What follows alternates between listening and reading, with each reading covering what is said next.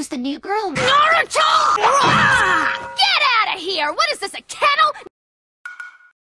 This is my younger twin brother, Amane Uzumaki. I don't look like anything that would come out of my mom.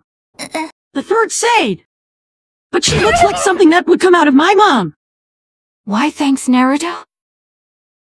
It's nice to meet you guys. Sakura, you're a little bitch.